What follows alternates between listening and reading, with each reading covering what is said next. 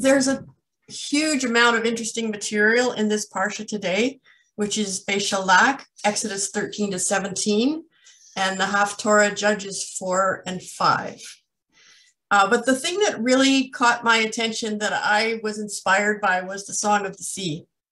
So I've picked a few things out of that that I thought were interesting, and I'm going to celebrate some of the Song of the Sea with song, as Kim was mentioning. And I wanted to acknowledge uh, the input of Kim, who very kindly helped me edit the videos. Sweet, thank you. Uh, okay.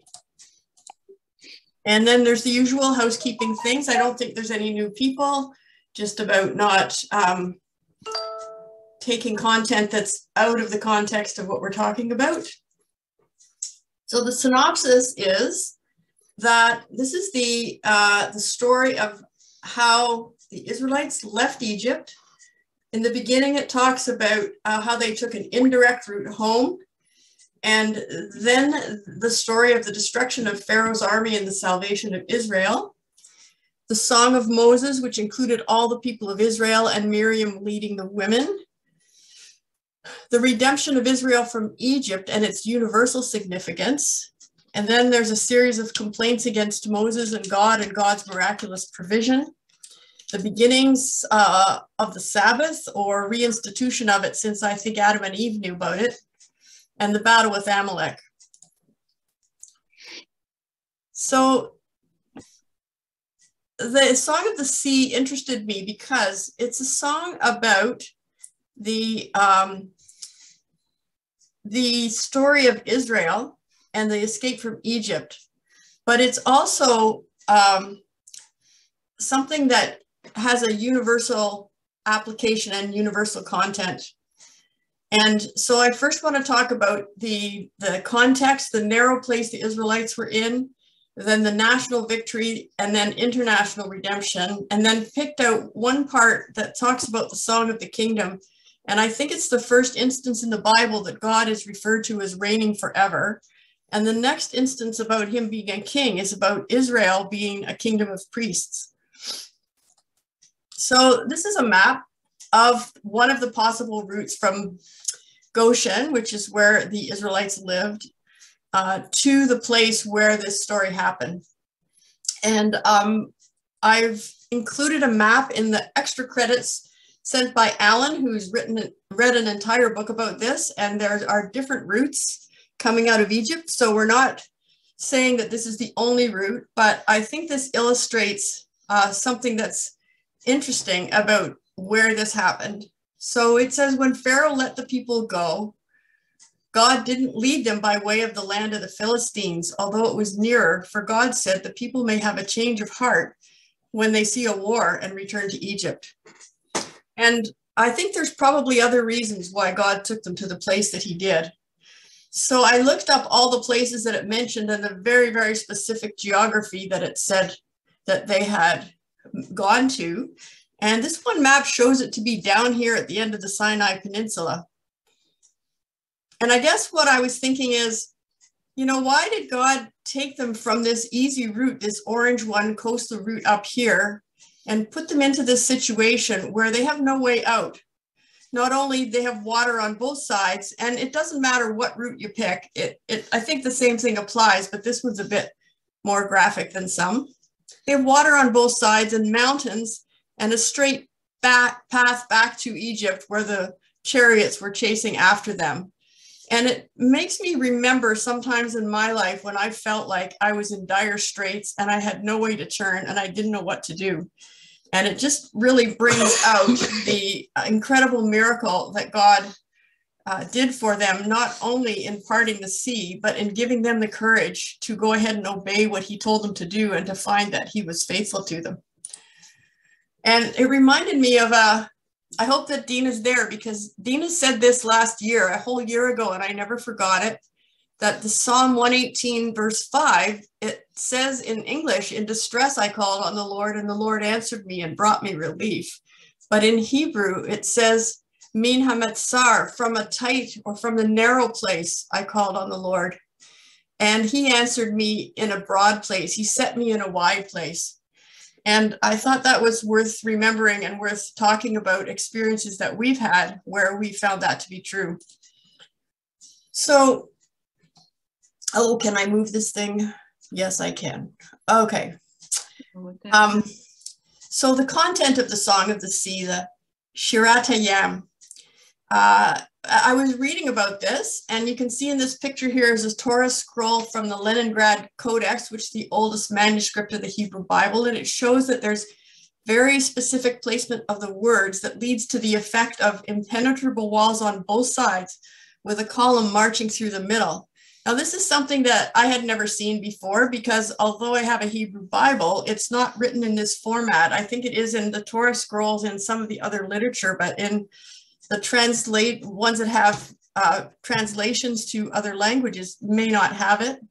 But what what is actually happening here is that there's a visual interpretation of the interface between speech and writing, because these people were singing the song. They weren't.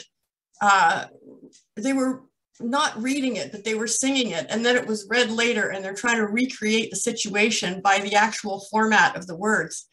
And the Bible says the Israelites had marched through the, dry, the sea on dry ground, the waters forming a wall for them on their right and on their left.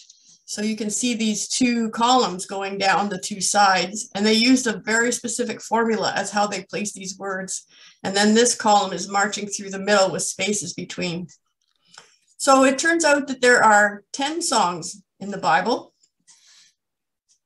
according to Rabbi Yishmael and he lists them all in Sefaria. If you'd like to look up the other ones, but the Song of the Sea is the second one. And it begins, then Moses and the Israelites sang this song to Adonai, I will sing to the Lord who has triumphed gloriously. So we're going to be talking about that one. And then he goes through all the other songs and he says the 10th song is for the time to come. Sing to the Lord a new song, his praise from the ends of the earth. And this illustrates that the story of the Exodus is not just about Israel and Egypt. It's um, that there's that it also has a universal application and it applies to all the nations of the earth. That's from Isaiah 42. So when you read the song, you can see that there's a particular vision of the song. And that's mainly the idea that the Israelites are set free from the Egyptians. So this verse says that it begins with again. But there's other, uh, there are universal aspects. One of them is the translation, transcendence uh, over all the gods, over the gods of Egypt to transcendent over all the gods of the nations. Who is like you among the gods? Who is like you, majestic in holiness, awesome in splendor, working wonders? There's also a future vision of Zion to plant Israel in the land and to build the temple. And the very last line says, The Lord will reign forever and ever. So it ends up talking about the God of Israel being the eternal king who will reign forever over all the nations. And this idea of the eternal king has been incorporated into many, many places in the scripture. Uh, first of all.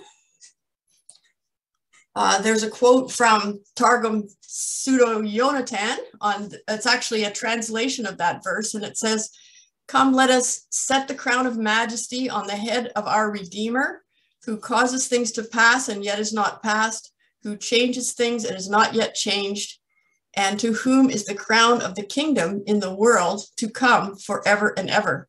So this Targum expands it to the whole kingdom of the world and for eternity.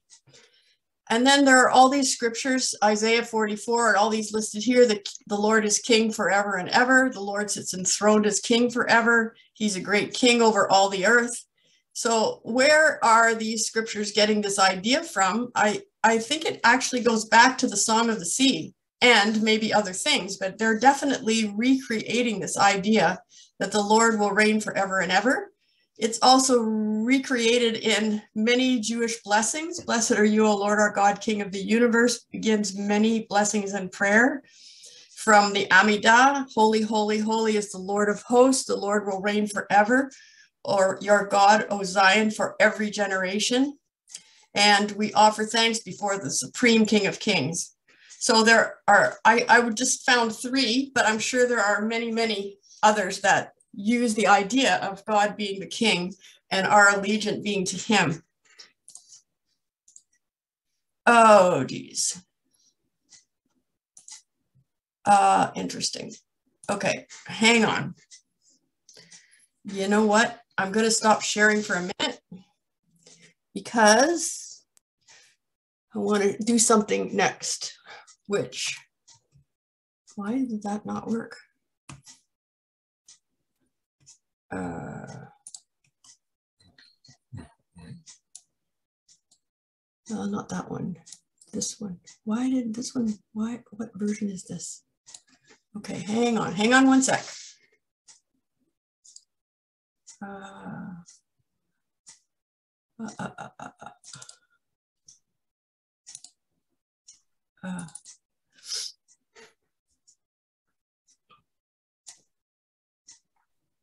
okay.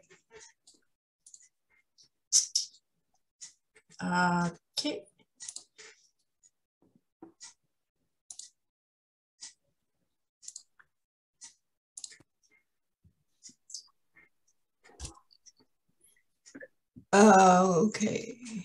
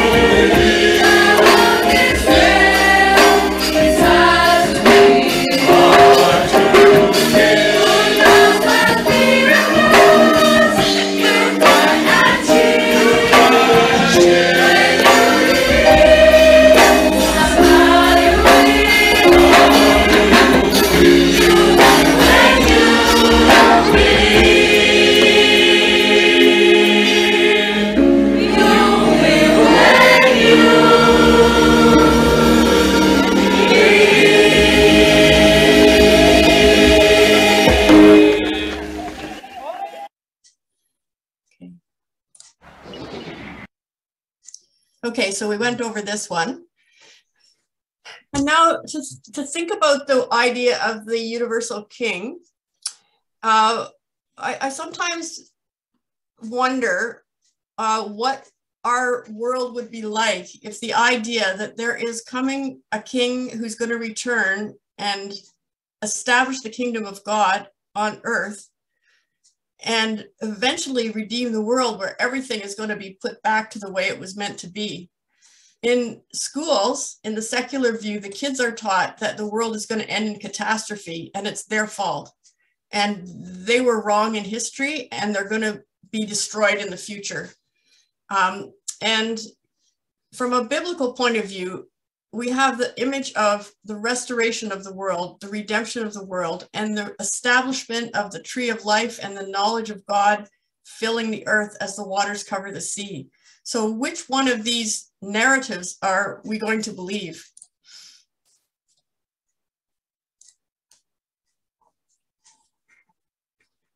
I think that it's uh, when when kids are not taught that there's a positive outcome to what's going on in the world, then it's very depressing and very discouraging, and that we have to thank the Bible and this story for the vision of the coming king and the coming redeemer.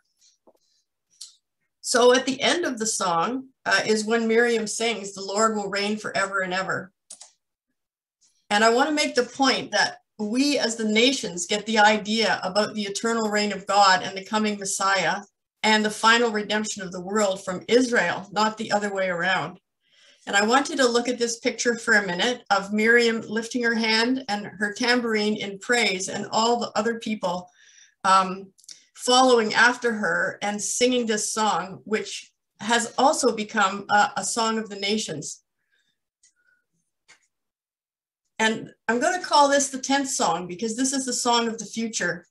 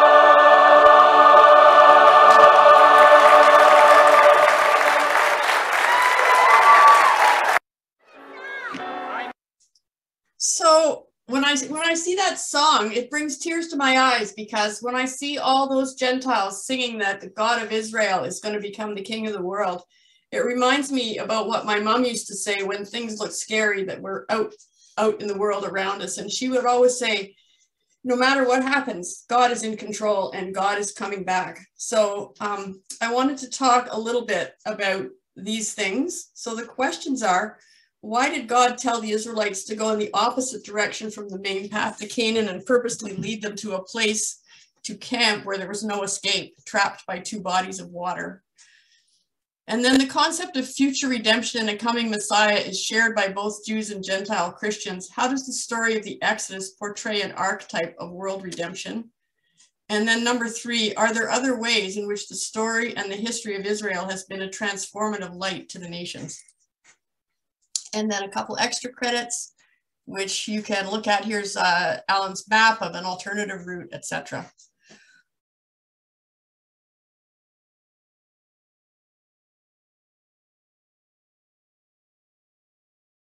Well, welcome back, everyone. Um, uh, I think we're going to start with Hadass. Who's who is who have you elected? Uh, to, to be your spokesperson for your group? So many of these thoughts were so big, and I so appreciate the Jewish perspective. I don't have that. The idea about God choosing the southern route, you know, what he, they did do rather than going the northern route, uh, it was a new idea to me that it was to teach the Israelites to trust God. They were new in their faith. They were letting go of this slavery mentality. I, didn't think about that. And I think about how long it takes me to let go of the slavery mentality that I have as a believer. Um, and that it was God, God is so big and so wonderful that He also had plans for Egypt I had never heard about that northern god. And I was uh, encouraged that we were reminded about God was dealing with the Egyptian pantheon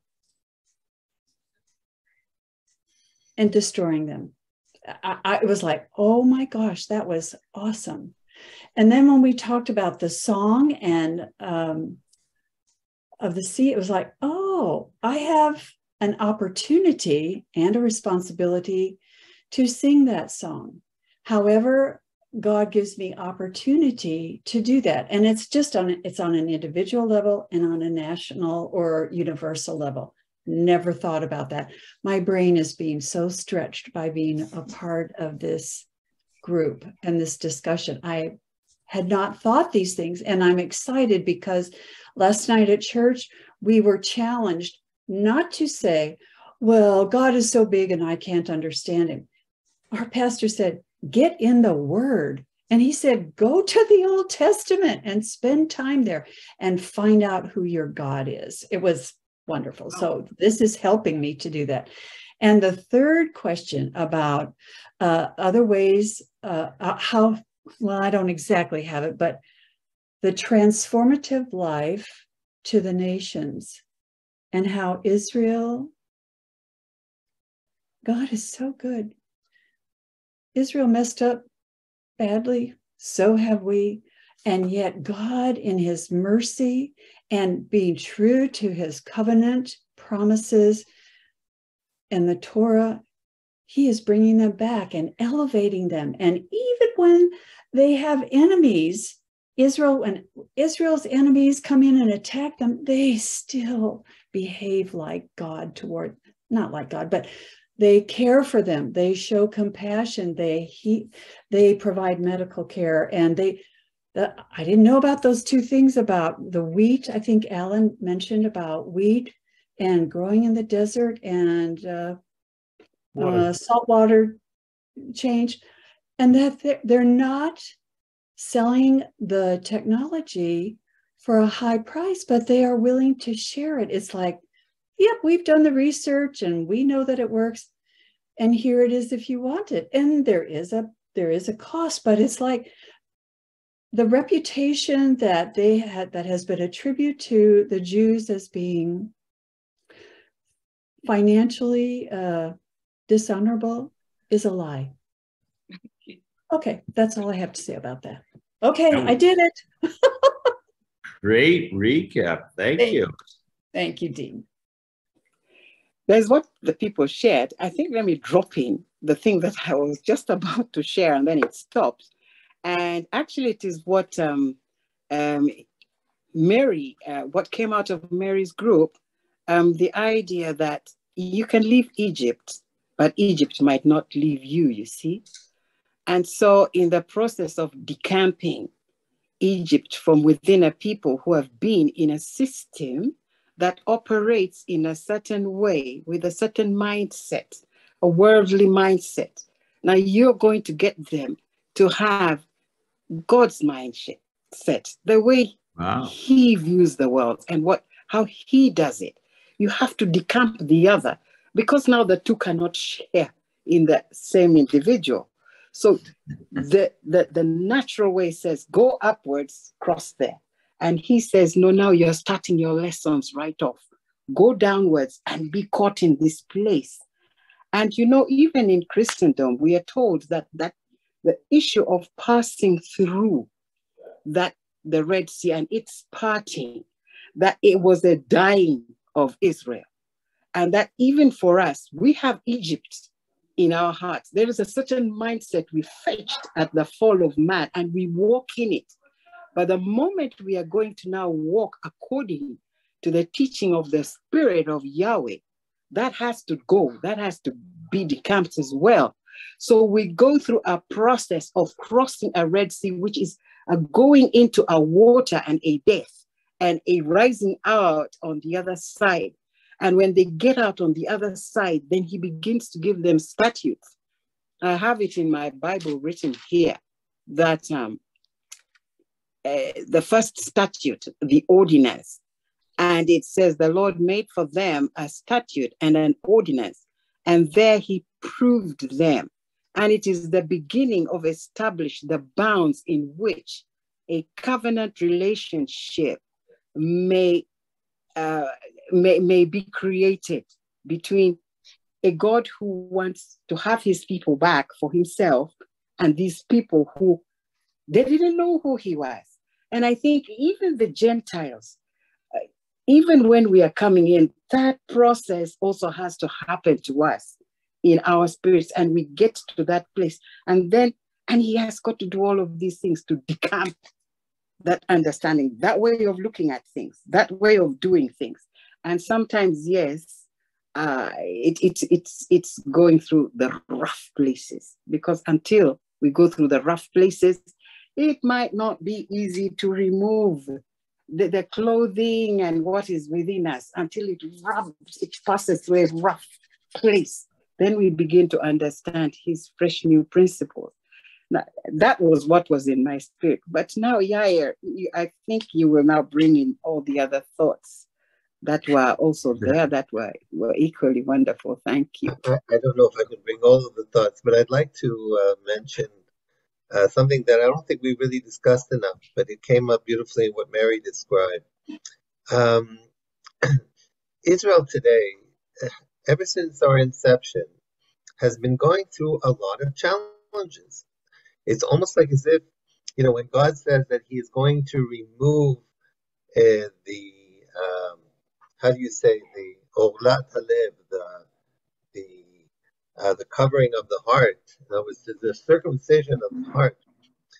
This is what he's doing to us today. You know, when he when he sends us into battle on one hand in order to protect ourselves, and on the other hand, we seek ways of doing this in a way that sheds as little life as possible and doesn't hurt others who and and and yes where where we even to give medical aid to our enemies and do all kinds of other things seeking that balance of on one hand of behaving with the attributes that God has educated us that kind of driven into us over 3500 years and at the same time to to deal with the challenges of so many out there that still want to um, to remove us from from this part of the world, or perhaps even from the world entirely.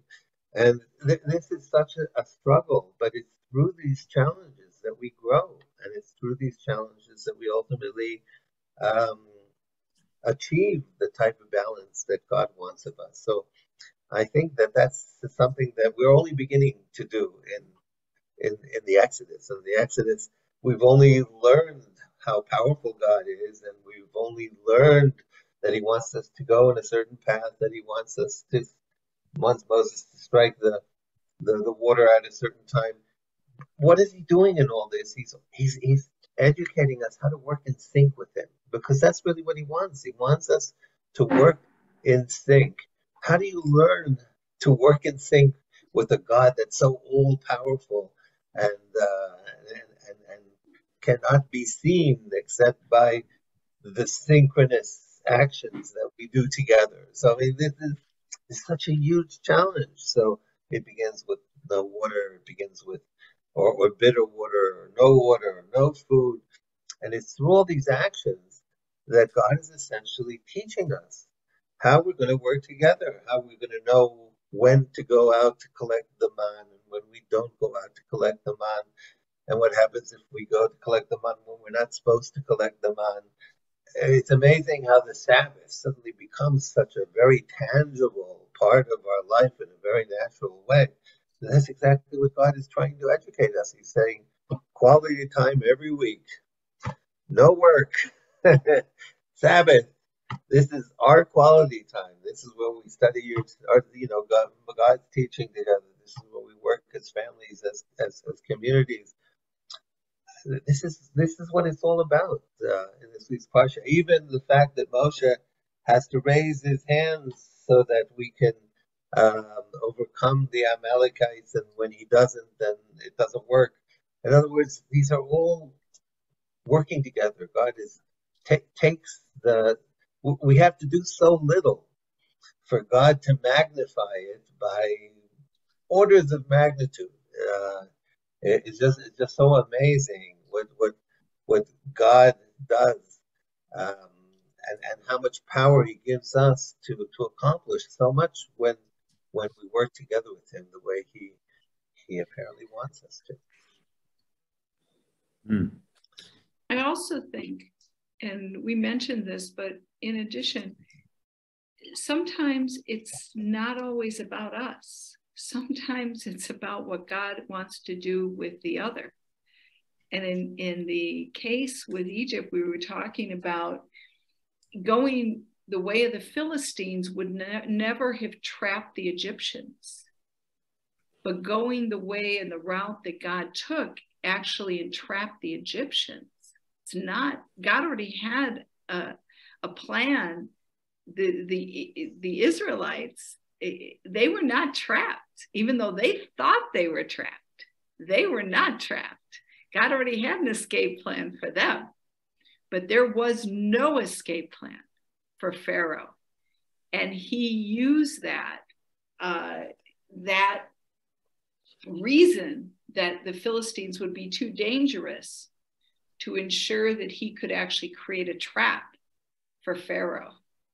And so sometimes it's it looks like the focus is on us, but what God is really doing, it's a good game of chess. He's really putting the enemy in checkmate. And so that's another way of looking at this uh, this uh, situation. Mm, thank you. I, you know, I just want I didn't get a chance to say it in relationship to question two in our group, but this aspect of a king um, that uh, Ruth you brought up uh, as as part of the song, um, and you know, thinking about from the place of a time where Israel said, "We want to be like the rest of the nations." and we need to have our own king. And it's almost like, and I heard it said even just last week, that we're going back to this scenario where we're going to long for God to be our king, as opposed to having to put up another king. And the more I been meditating on those thoughts, I, uh, you can see the excitement that would come forth in a song in trusting and believing for him to be our king and God to be seen and experienced as king, uh, know him as a king. And, you know, speaking as a Christian, I don't think we know that. Uh, perhaps maybe as well as as maybe Israelis or Jewish people would have that as part of your theology. I, I think as Christians, we more or less have seen God uh, as our Savior uh, more than we've been able to attribute Him as a King and, and one who wants to be King over all and uh, is coming and longing to be a King of a kingdom who has raised up a, uh, a holy priesthood and a, a kingdom that would be his representative uh, and light to nations. And so um, I think uh, I, I, really appreciate Ruth how you really uh, uh bring that out through the song and and uh, and and I see that song and that theme now in a in a deeper way. Anybody else like to chime in for uh, a last thought before we say goodnight? Uh, I'll say a short, uh, a short thing. I mentioned something uh, in our group, but I did not mention this thought. There's a saying about the king Chizkiyahu uh, that the sages say that he was supposed to be the Messiah. The, the, the end of history should have been then, the good end of history. He should have been the Messiah. Uh, and he won wars and uh, he was he had the good traits and everything that that uh, a messiah should have and so on. But he missed his uh, role. Why? Because he didn't sing the song. He didn't praise the lord enough. So the, the element of the song is so important because that's what makes the history not the doing of the lord of the king of god it isn't enough. If we do not sing the song, it isn't written in the history. In our portion, if everything had happened, but there would have not been the song, I don't know if we, we would have been talking about it today. The song made the, the whole story. And who sung the song? Moshe and Bnei Israel, and the sons of and the Israelites. So everything is, is not on his shoulders. Everything is on our shoulders.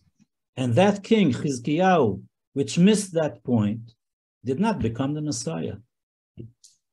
That's because an altar demands true worship. Exactly. And devotion. Yeah. Hmm. Oh, nice way to end. You're you're muted, Yair. God bless. Oh, if I might add, when we sing, something very special happens, not just in our own brain, but in, in the brain of all of those that are singing together. The song has such power that the miracle on its own doesn't really achieve its full purpose unless we sing and come together in that song. Mm. And when that happens, all creation will sing. I, trees are going to clap their hands. The mountains are going to sing. And I believe it's going to be that way.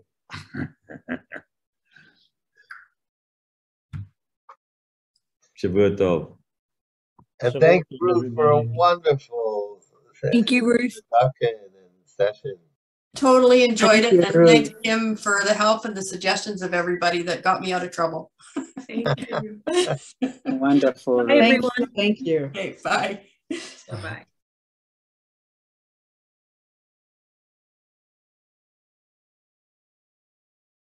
A secular Jew. And I thought that was simply fascinating because I think this is uh, possibly a uh, reflection of something that's going on in the world in general of more and more people who are, are connecting to God through something very, very deep inside of them, rather than from a place of being of, of obedience, for example, which of course is a subject that we will uh, that Moshe Fassi promised to uh, bring up in a few weeks when it's his turn.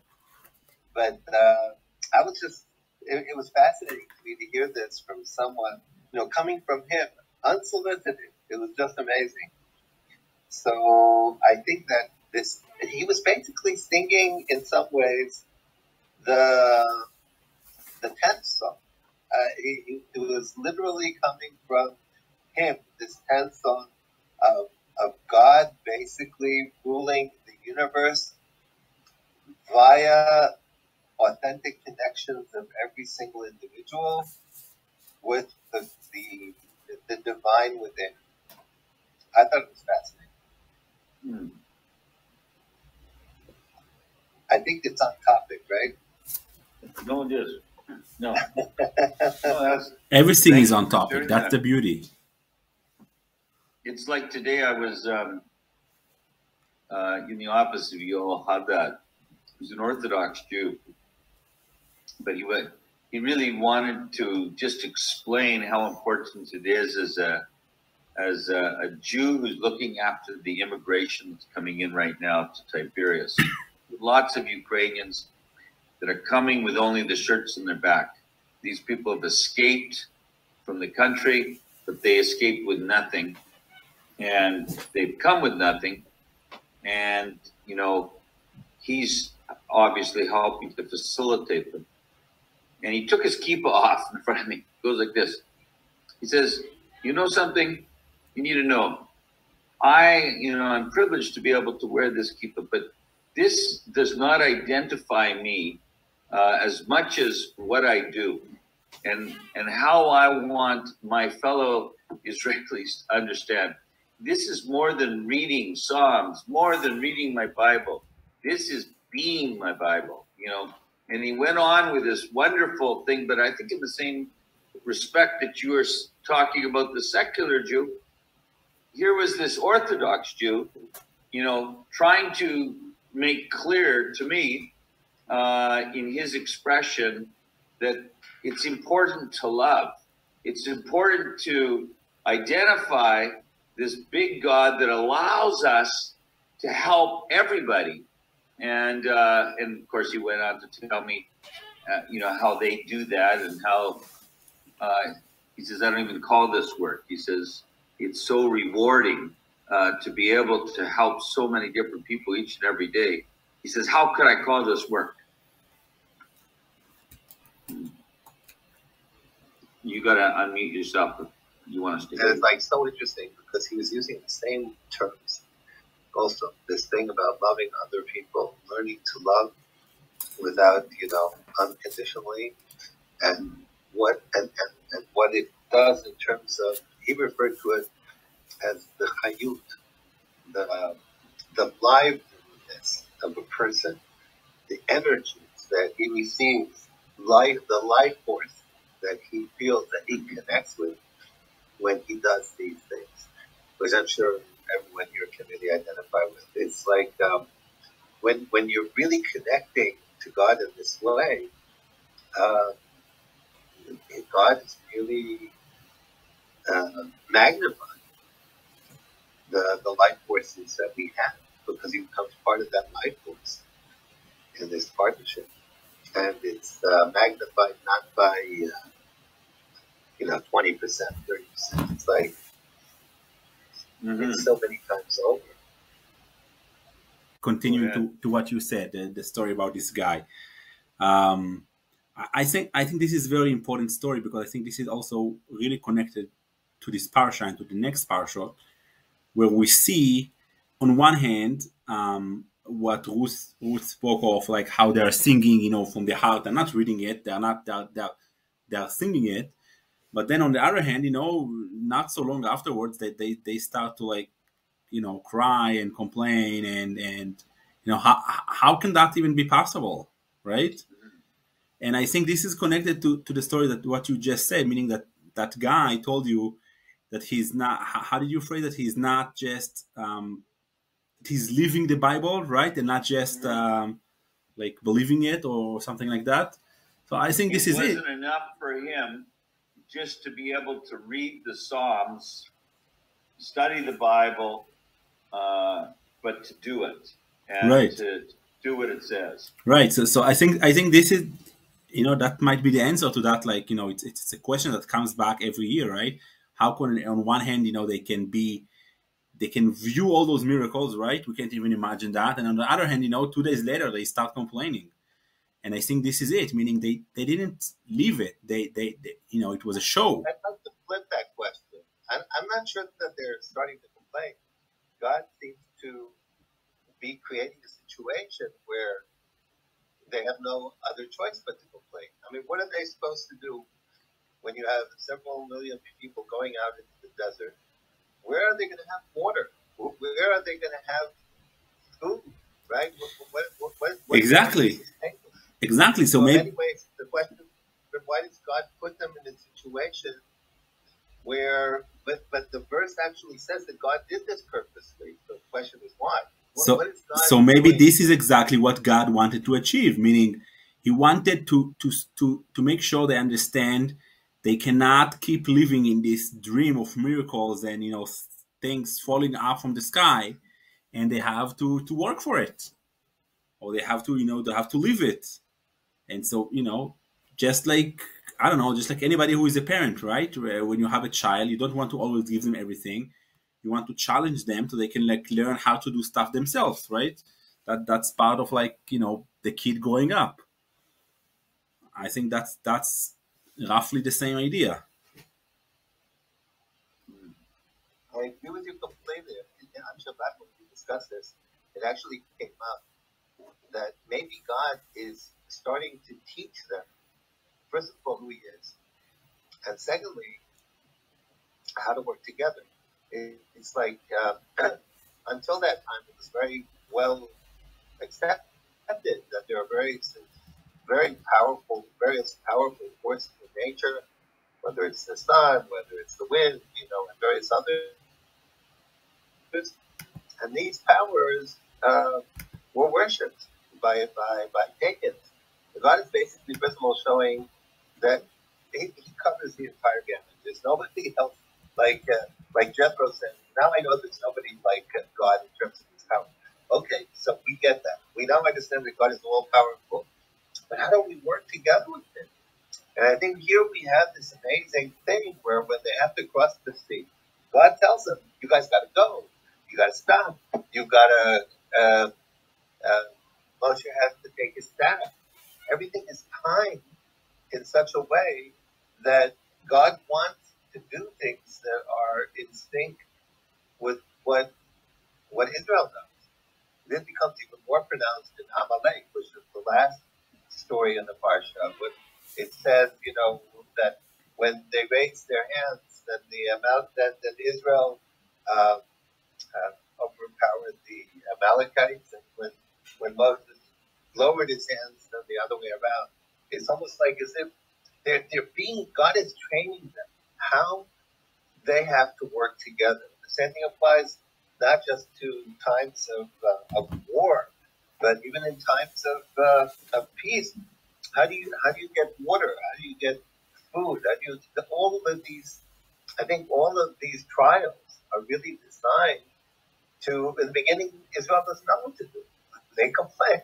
It's not really the best way of doing things in the end, we see in this in, in the book of Numbers, we see that uh, there's another song, one of the other of the ten songs, where they sing about how um, the sarim, all the ministers and the princes, and they all dug these wells and, and provided for water. In other words, this is a learning process, it's a crash course.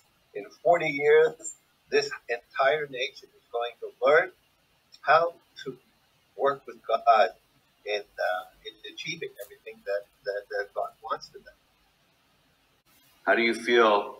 Uh, she brought that Hallelujah song in at the, uh, uh suggesting that this is going to be the 10th song. Uh, what did you think of that? What, what do you mean by the 10th song? Well, that's what I was wondering too. I think what she was saying is that if you take a look at the songs uh, in the Tanakh, not uh, outside of the uh, the Psalms, there's ten songs. Oh, okay. and Isaiah 42 is the tenth one. Okay. I, I, there was a very beautiful uh, teaching that somebody gave on Shabbat that talked about the difference between saying the same thing in song versus not saying it in song. In other words, you could say the exact same words, but when you sing those words, something happens in the brain that uh, that makes it a completely different experience. And we all know this, of course, from the story of, uh, of uh, the, the, king of Britain who stuttered, and when, uh, in order for him to be able to speak to the people, and uh, there was an occasion I think it was in World War One when he had to speak uh, in order to inspire everyone. He simply sang his speech. That was the only way he could say it without stuttering.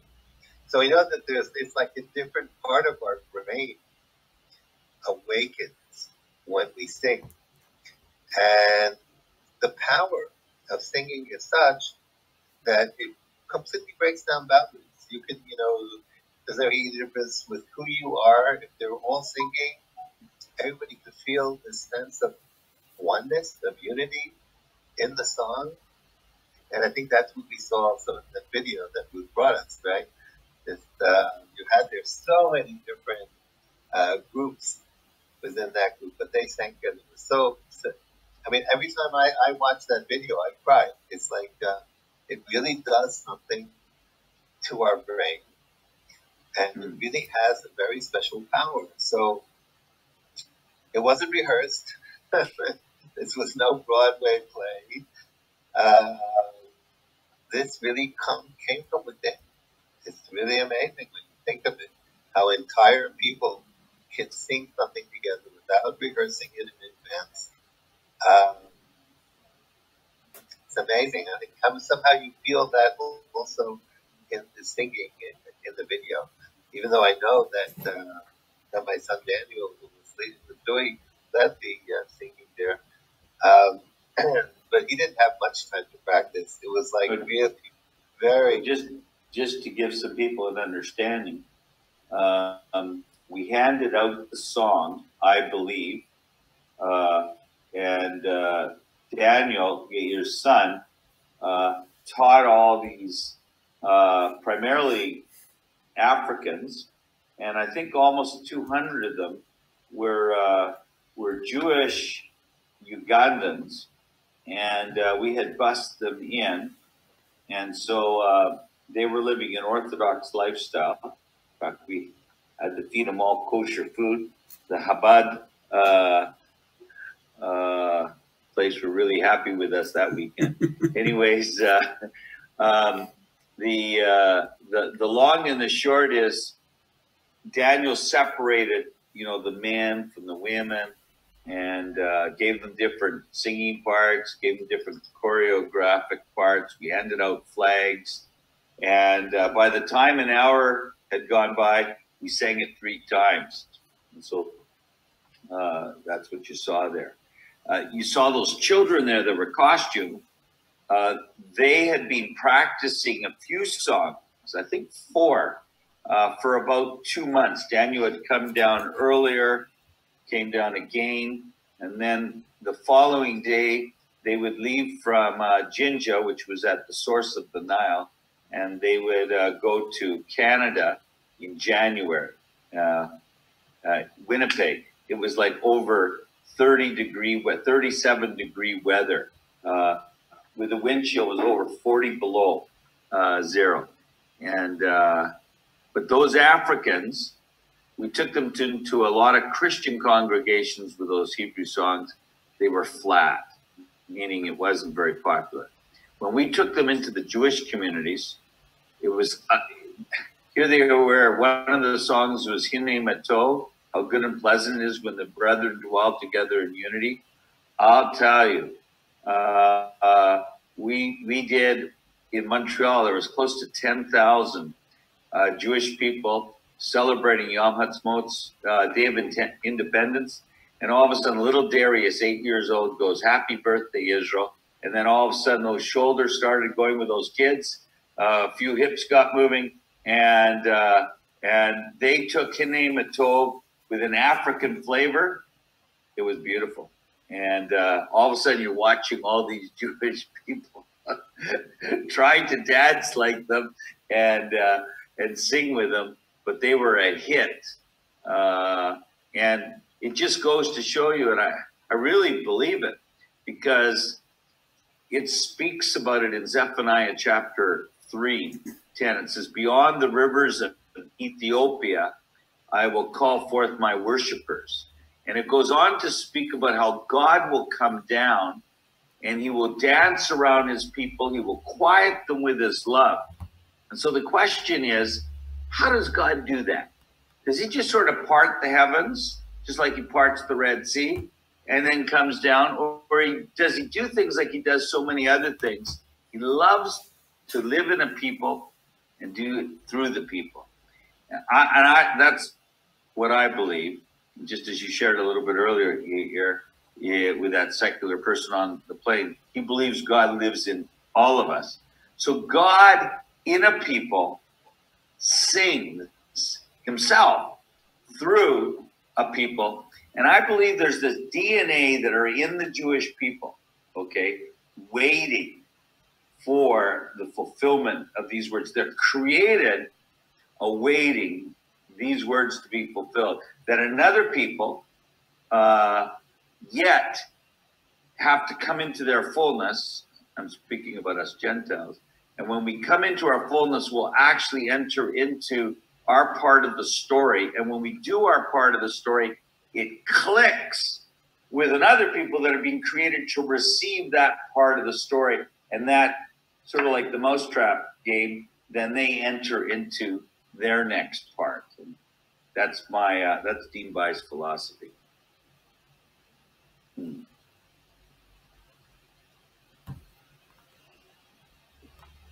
in case you didn't understand what I was saying, yes, very. Well, we've got the questions uh, here. Uh, thank you, Jolanda. Uh, so, question number three Are there other ways in which Israel has been a light to the nations? Question number two The concept of future redemption and a coming Messiah is shared by Jews and Gentile Christians.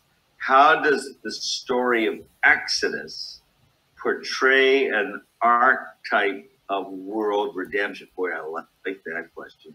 Number one, why did God tell the Israelites to do in the opposite, go in the opposite direction from the main path to Canaan and purposely escape trapped by two bodies of water? Thank you very much. Uh, who would like to jump in on any one of those questions?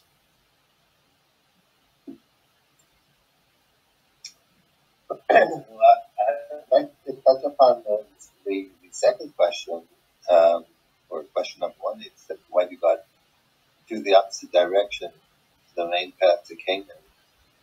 Um, I think that there is, uh, in, in our tradition for sure, a sense that God is already setting the stage in Exodus for the future redemption. And that has many different aspects to it. Amongst others, for example, the requirement that all the nations contribute um, in the building of the temple by bringing forth the gold and silver and so forth.